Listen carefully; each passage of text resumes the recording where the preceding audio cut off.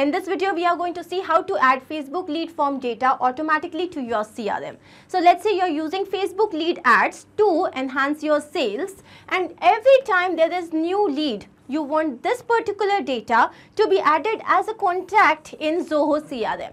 So here for this you will have to integrate these two applications and we are going to do this with the help of Pabbly Connect. So here your trigger application would be Facebook and your action would be Zoho CRM. Now let me take you to my screen to show you how. Let us start with the process. The first thing we have to do is we have to type the URL pabbly.com slash connect and as we press on enter, it will take us to the landing page of this software. Now here on the right hand side you can see two options, sign in and sign up for free. If you are an existing user then you simply sign in and if you are a new user then you can sign up for free and it will not take more than 2 minutes. With every account creation, you will get 100 free tasks to test these automations. So since I'm an existing user here, I'm going to click on sign in. And now it has taken me to this all apps page. I'm going to click on access now with Pabbly Connect. And now it has taken me to the dashboard. Here on the right hand side, you can see create workflow. So I'm going to click on this. And now what do we want? We want that every time there is this lead form data so we want to add Facebook lead form data to Zoho CRM automatically. So I'm going to name it as Facebook lead ads to Zoho CRM. Now let's click on create. Now here this particular page has appeared in front of us where we can see two very important events, trigger and action. Triggers and actions are basically those two concepts or principles on which this entire automation works. So now here trigger says when this happens and action says do this which means if we take the example of the current automation we want that every time there is data from Facebook lead ads it should automatically be registered in our CRM so here my first application would be Facebook lead ads and now comes the trigger event. What would happen so that we get the response? So here, every time a new lead is there, then only this workflow will work. So let's click on connect here.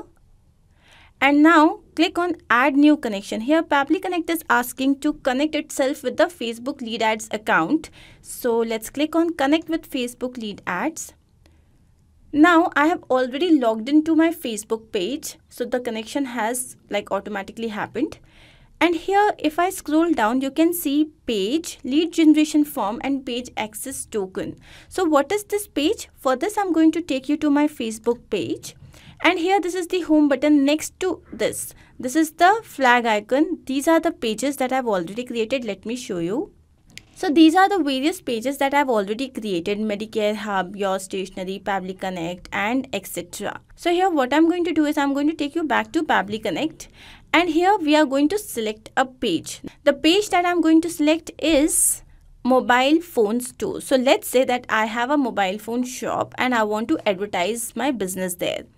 So there is only one lead generation form so it has automatically been captured by the system. Mobile phone store is the name of the form also. We have to now first of all I'm going to click on save and send test request and as soon as I do that it is saying that log into the application where you have added the webhook URL and do a test submission record so that the data can be recorded here in the webhook response. To do this test submission, we are going to click on this hyperlink Facebook lead ads testing tool. So let's click on this and now here you can see that we have to use this tool to test our API integration and we can create a test lead to confirm that our integration is set up to receive data correctly.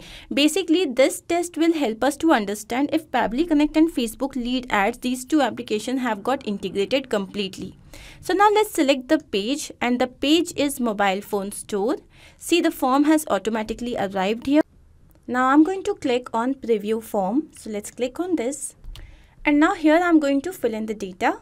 So let's let's say the name is demo name. And then we have the number. And then let's say the email address is demo at pabblytudes.com click on next. And now submit the form. Now, as soon as we have submitted the form, we should receive the API response on Pabbly Connect. So let's go there and check. So here we go to uh, a Pabbly Connect page and it's waiting for webhook response. Now here you can see that we have received the API response. So we have received the created time, then the full name, phone number and email address is there. Now what do we want that every time we have got some data from our Facebook lead ads, we want that data to be automatically captured by our CRM which is Zoho CRM here. So let's select our next action step as the application would be Zoho CRM. Now what would be our event? Action event would be every time it has to create a lead. So let's click on create lead and then click on connect. So Pabbly Connect is asking to connect itself with Zoho CRM account. For this I'm going to click on add new connection and then connect with Zoho CRM now here it is asking me to enter the domain for this, I'm going to take you to my Zoho CRM page. So this is the home page and here you can see that what is the domain that we are using? It's zoho.com. So coming back to Pabbly Connect, I'm going to write zoho.com. And now let's click on save. So once done, it is now asking us to provide the access. Let's click on accept. And now finally the authorization has been successful, which means that the connection has been done. Now, if we scroll down, it is asking us for some information like company. So let's so let's say the name of the company is Mobile Store. The next thing is owner ID. So it has already been captured. Now the first name and the last name. Now if we go back to the details that we have received, we have received the full name. We do not have first name and last name. So here we will have to add another action step. So the step would be text formatter. So here I am going to have this feature by Pabbly text formatter. And now the action event here would be split text. Why? Because we want this full name to be split in first name and second name. So here, what is the text that we wish to split? For this, we will have to map the data. Mapping means to capture the already received data. So here I'm going to click on this and go to full name. Now, what do I want? I want this to be separated. And what will be our separator? Our separator will be space. The space bar which is there in between demo and name. So I'm going to write space this is how you will have to do. You will have to write space in between curly braces double curly braces. And then what do we want? We want both the names. So for this i'm going to click on all. Now i'm going to click on save and send test request. So here you can see that we have received the response. So this is the first name and the second name. Now again i'm going to go back and here i'm going to click on connect once again and save. Just to be on the safer side now here the first name. So for this first name, we'll again have to map the data. So for this, we are going to go to our second step text formatter and have the first name which is demo. Then the last name, again we are going to repeat the step name. And now the designation. So you can just write the designation. You can provide the email address and all. So here we already have the email address. So i'm going to take it from the first step. This is demo at pabblytudes.com then the phone number so here the phone number has to be written in this format. So I'm going to write it like yes. So i have written the phone number exactly in the same format. And now the mobile number so i can easily map the data here. And yes this is my mobile number. Then the website so if you wish to provide any website, you can, the lead source, lead status, etc. And then the annual revenue, this is a required field. It is a must. So let's say that annual revenue is okay.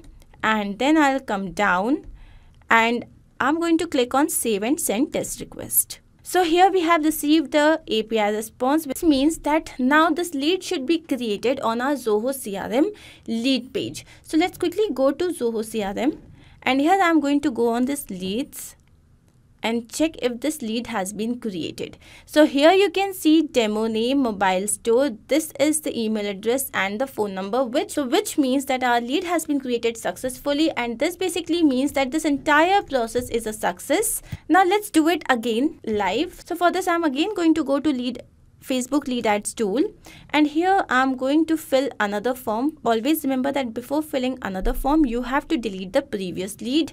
So I have just now deleted the lead so it is saying that you do not have a lead submitted for the selected form yet.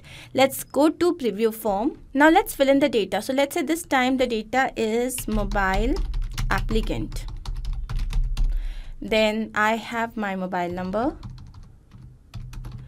and then we have the email address so let's say it is mobile app at pabblytudes.com and now let's click on next and click on submit now I have submitted a form. What should happen? Uh, a lead should be created with the same name and details on Zoho CRM thing. So I'm going to take you back to Zoho CRM and I'm going to refresh this page and yes, here you can see this is the lead name, mobile applicant, the name of the company's mobile store, then we have the email address and the phone number. Now, basically this means that our entire process has been successfully integrated. I hope this was really easy. I'm going to take you back to my Pabbly Connect page and quickly understand what we have done. So the first trigger that we have used here is the feature Facebook lead ads where we had chosen our trigger event as new lead instant. Then we had chosen our action application as Zoho CRM and the event was create lead. There was one step where we had to split our name because the name was provided as full name and we needed first and last name. For that we had included one more action step which was another feature text formatter by Pabbly and where we had chosen our actions event as split text. And that is it. In case of any doubt, you can refer to the workflow which is given in the description box. This is the same workflow that we have worked on right now. And you can even clone this workflow and start processing immediately. If you have any advice or any suggestion or any other question, you can always write to us.